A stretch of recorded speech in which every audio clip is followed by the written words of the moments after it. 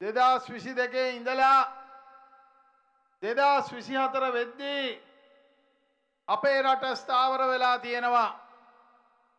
තමුන්නාන්සේලාගේ ජන ජීවිතය නැවත ස්ථාවර වෙලා නැවත ඔබට ජීවත් වෙන්න පුළුවන් රටක් රනිල් වික්‍රමසිංහ ජනාධිපත්තුමාගේ නායකත්වය යටතේ හැදිලා තියෙනවා. මතක තියාගන්න මිත්‍රවරුණි මේ තැනට මේ රට ගේන එක පහසු දෙයක් වුණේ නෑ.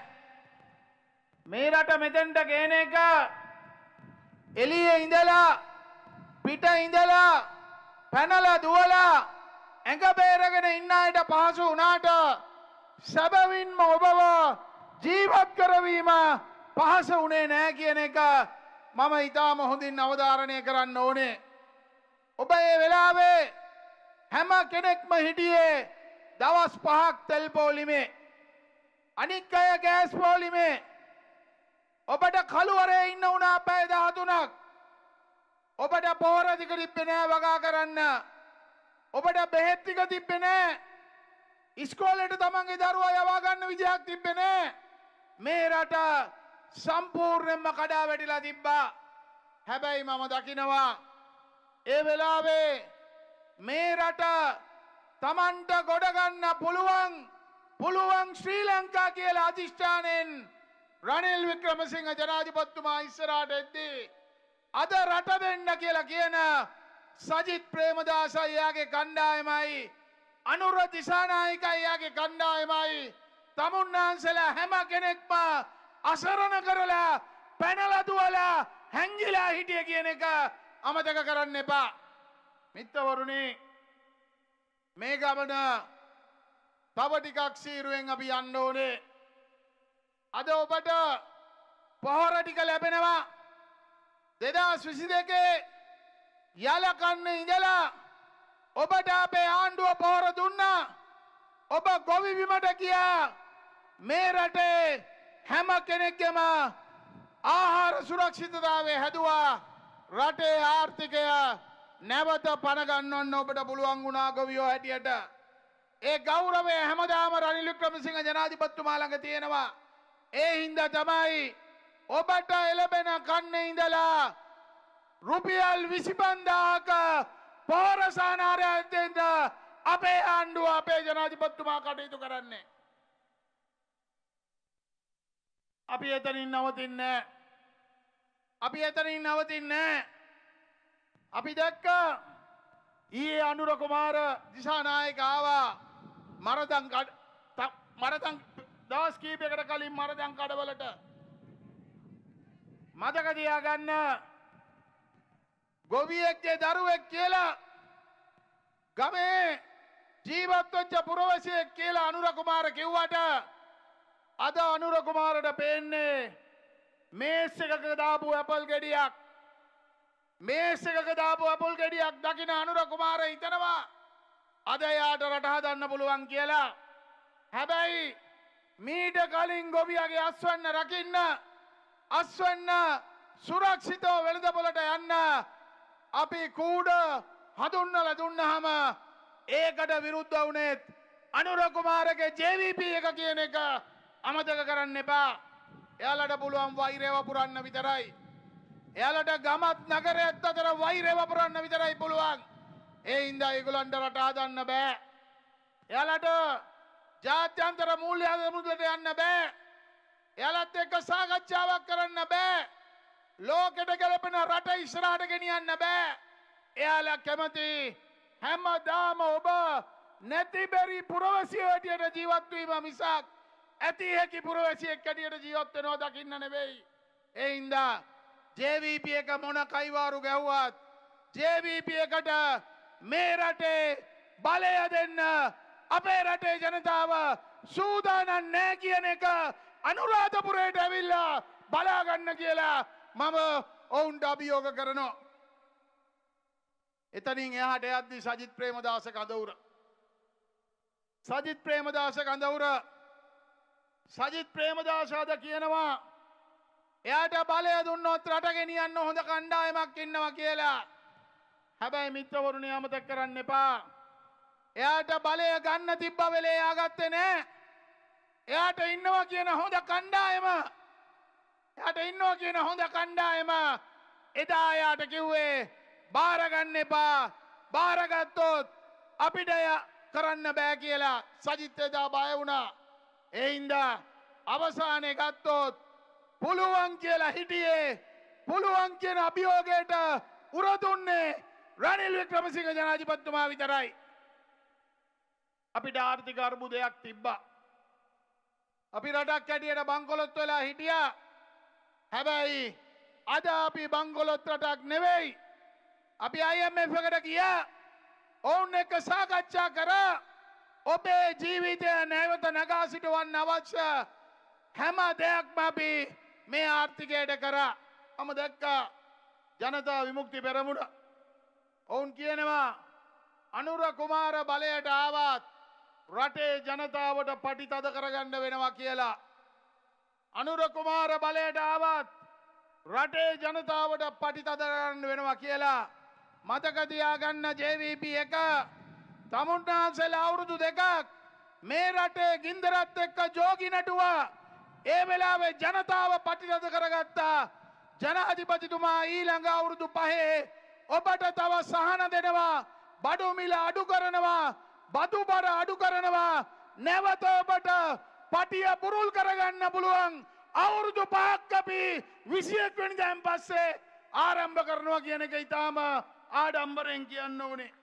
ඒ වගේම අපිට රටක් හැටියට කළුවරේ ඉන්න වුණා. රටක් හැටියට කළුවරේ ඉන්න වුණා.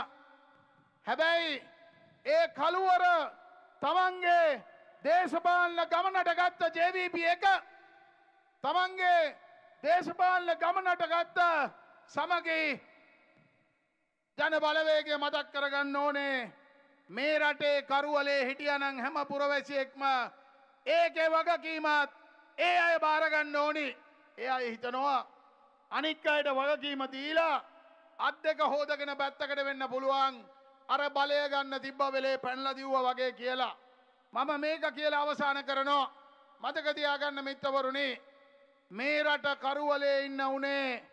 ඔබට මතකනං සාම්පූර් බලාගාරය මෙගාවොට් තුන්සිය පණහක් පළවෙනි අධියරට අපේ පද්ධතියට එකතුවීම නැවැත්තුවේ එදා අනුරකුමාර දිසානායකගේ බලපෑම කියන එක අපි මතක් කරන්න ඕනේ.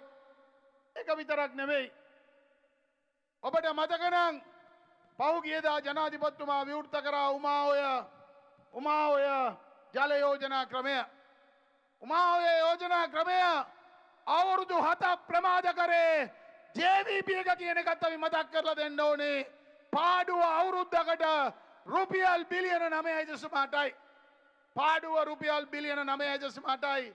මෙගාවෝට් එකසිය විස්සක් අපේ පද්ධතියට එකතු වෙලා එකතු වෙන එක වලක් කලා මේ රට කරුවලේ තිබ්බේ අනුරකුමාරගේ ජේවීප එකේ උද්ඝෝෂණ සහ විරෝධතා කියන එක අපි මතක් කරන්න ඕනි ඔබට මතක ඇති මොනාද කිව්වේ කියලා. ඌේ ලිං ටික හිතෙනවා කිව්වා. ඔක්කොම ජලාශටික හිතෙනවා කිව්වා. ගංගා ඇලදොල හිතෙනවා කිව්වා. මේකම තමයි මේ ර- අපේ දිස්ත්‍රික්කේ ප්‍රාදේශීය ලේකම් කොට්ටාස තුනකට වතුර දෙද්දී අනුර කුමාර කරේ. ගිහිල්ලා ගිනි තිබ්බා උද්ඝෝෂණය කරා ප්‍රමාද කරා මහා කනදරාව හිඳෙනවා කිව්වා ගොවියට වතුර ටික නෑ කියලා කිව්වා. ඔබ දක බලන්න දැන් ගිහිල්ලා මොකද්ද තත්ත්වේ? අද අපි බංකොලොත් රාජ්‍යයකින් එළියට ඇවිල්ලා ආසියානු සංවර්ධන බැංකුවත් එක්ක සාකච්ඡා කරලා උතුරු මැදඇල සකස් කරන්න අවශ්‍ය සම්පූර්ණ සල්ලි ටික හොයාගෙන මැදවච්චියත් රමයවත් මීන්තලෙත් ප්‍රාදේශය ලේකම් කොට්ටාසවල පවුල් විසිපන්දාකට පිරිසිදු පානීය ජලය දීලා තියෙනවා. කන්න දෙකම ගොවිතැන් කරන්න පුළුවන් මා කනතරාව පෝෂණය කල් ඇත්තියෙනවා කියන එකත් බදක් කරන්න ඕනි. මෙන්න මෙහෙම බොරු කියන ජේවීප එකක් තියෙන්නේ. මෙහෙම බොරු කියන ජේවීප එකක් තියෙන්නේ. තව එක කාරණාවක් තියෙනවා ඔබට මතක් කරන්න ඕනි. අපි ණය ප්‍රතිවූ ගත කරනේ අපේ මිත්‍ර රටවල් එක්ක අවසාන කරා. අපිට මුදල් දෙන ආයතනත් එක්ක අපි තව වැඩිපුර මුදල් ගන්න ඔබට පහසුකන්ටික දෙන්න අවශ්‍ය සාකච්ඡා අවසාන කරා. ඒ සාකච්ඡාවේ ප්‍රතිඵලය තමයි අපේ දිස්ත්‍රික්කේ ප්‍රාදේශීය ලේකම් කොට්ටාස හතරක ඔබ වගේ පවුල් පනස්ථාකට පිරිසිදු පානීය ජලය ලබාදීම. පදවිය කැබිතිගොල්ලෑව හොරෝපතාන සහ කාඩගස්තිගිලිය කියන ප්‍රාදේශීය ලේකම් කොට්ටාසබල පවුල් පනස්ථාකට පිරිසිදු පානීය ජලය දෙන්න ජපානයත් එක්ක මේ වෙනකොටම අපි උතුරු ජලයෝජනා ක්‍රමේ දෙවනි අධියර යාං ඔයත් එක්ක ලබන අවුරුද්දේ ආරම්භ කරනවා කියන එක මම ඔබට වගකීමෙන් ප්‍රකාශ කරනවා. එහින්දා මේ රට දැන් ගොඩනගෙනවා. මේ රට ගොඩනගෙනවා. අපිට අමාරුකං තිබ්බා. අභියෝගයට මූුණ දුන්නා. අභියෝගය ජයගත්තා. ඒ ජයගන්න අතරතුර රාජ්‍ය සේවකයා ජනාධිපත්තුමා අමතක් කරේ නෑ. ජනාධිපත්තුමා අමතක් කරේ නෑ.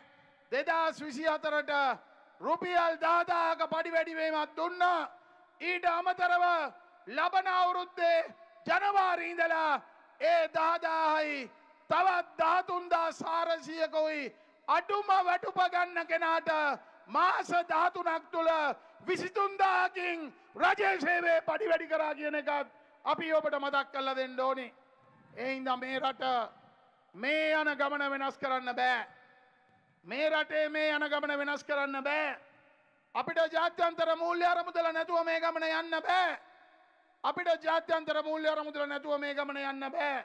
අපි ජාත්‍යන්තර මූල්‍ය අරමුදලත් එක්ක නැවතත් ගොඩ නැගෙන ශ්‍රී ලංකාව ශක්තිමත් කරන්නේ රනිල් වික්‍රමසිංහ ජනාධිපත්තුමාගේ ඉදිරි අවුරුදු පාක කාලය කියන එක මදක් කරමින් ඔබ සියලු දෙනාම ගෑස් සිලින්ඩරේට ඔබේ ඡන්දය ලබා දෙන්න කටයුතු කරන්න කියලා ඉතාම ගෞරවයෙන් ඉල්ලනවා. මේ සැරේ ඡන්ද පත්‍රිකාව දිගයි. දිගම ඡන්ද පත්‍රිකාවක් තියෙන්නේ. ඒ හින්දා උඩ ඉඳලා පල්ලෙහාට බලන්න එපා. ඔබ චන්ද්‍රික පත්‍රිකාව 21 වෙනිදා ගත්තාම පල්ලෙහා ඉඳලා උඩට බලන්න. යට ඉඳලා උඩට බලන්න. තුන්වෙනි තැන තියෙනවා ගෑස් සිලින්ඩරේ රනිල් වික්‍රමසිංහ පුළුවන් ශ්‍රී ලංකා ගොඩනැගෙන රටේ සෞභාග්‍යමත් රටක් ඉතුරු කරන ආරම්භ කරන ගෑස් සිලින්ඩරේට ඡන්ද දෙන්න කියලා ඉල්ලමින් ස්තුතිවන්ත වෙමින් මම නිහඬ වෙනවා. බොහොම ස්තුතියි.